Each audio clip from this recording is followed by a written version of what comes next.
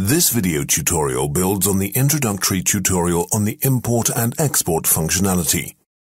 It shows some special use cases demonstrating how Inca makes sure to keep your database clean and usable. In the first section, you will see what happens when an object with the same name already exists in the database. The second section shows what Inca does if the object to be imported is the original one.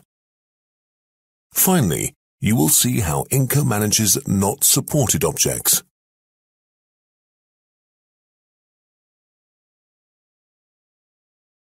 Alan Smith wants to import database items from an import file. First, he will demonstrate what happens when an object having the same name already exists in the database.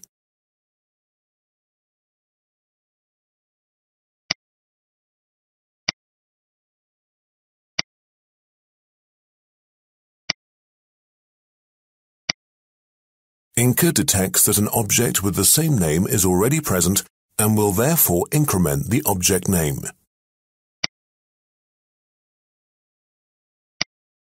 Thus, Inca prevents that an object with the same name is overwritten. In some situations, Inca detects that the object to be imported is the one which was originally exported. Some time ago, Alan exported an experiment called Original Experiment.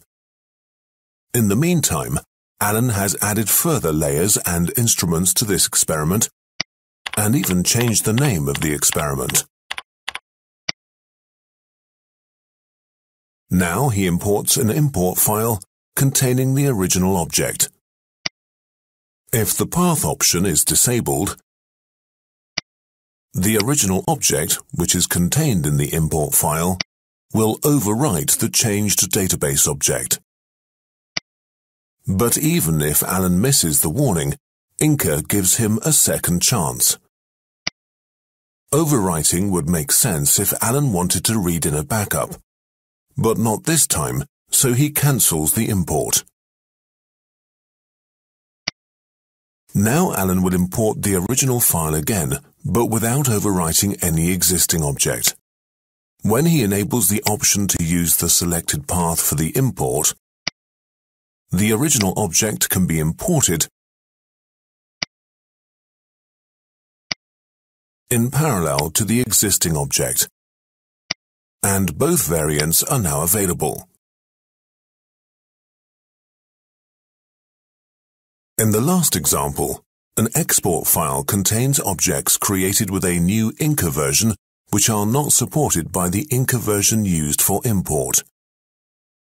Another colleague, namely David Taylor, who's using an older Inca version, also received an export file from Adam. He imports the file in the usual way.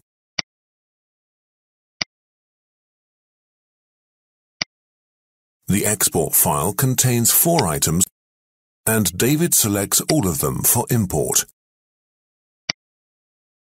From the four items of the export file, those three which are supported in David's Inca installation are successfully imported. Another item, however, could not be imported as its content is not supported by this Inca installation. This makes sure that an Inca database does not get filled with unusable objects coming from a later Inca version newly supporting them. This video showed you some tips and tricks for special export and import situations. First, you've seen that Inca prevents that an object with the same name is overwritten by incrementing the file name. The next section demonstrated that when you import another version of the same database object, you can either overwrite it or import it so it will be stored in parallel to the existing object. The last section showed how Inca deals with unsupported objects to keep your database clean and usable.